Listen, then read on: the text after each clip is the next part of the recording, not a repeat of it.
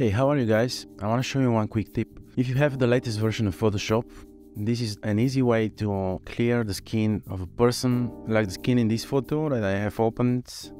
If I zoom, you can see, especially if it's in a higher resolution, you can see that there are some problematic areas. So the first and most important thing is to remove the blemishes spot healing brush tool, which is right here. You want to work non-destructively. So I'm going to make a duplicate of this layer, Command J or Control G. Uh, just click at the areas which could be easily removed by this tool. Just be careful not to delete any birthmarks. Yeah, maybe this will be enough. So after we have done this, I'm going to make this a smart object. Uh, right button, convert to smart object. This one works only if you have the latest version or one of the latest versions of Photoshop. You just have to go to filter, choose camera raw filter, and from here, go to basic texture and move this to the left. This is working pretty good with skin pores and problematic areas.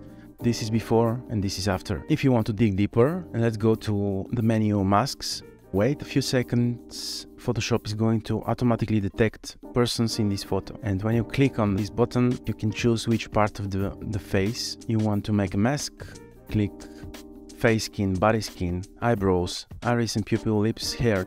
After we have selected all these separate elements and click create, if I select, for example, face skin, I can do the same from here. I just need to find the texture slider, which is here. If you don't want to see the, the red overlay, click here and let's move this to the left.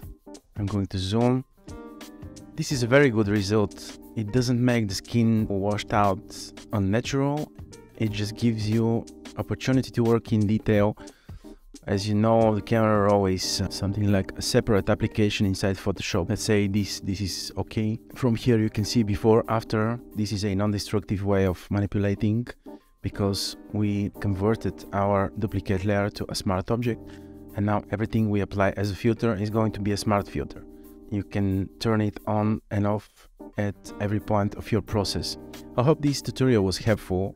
If you want to see the old school way of smoothing skin with the inverted high pass filter, be sure to check it in the channel and stay tuned for more. Peace.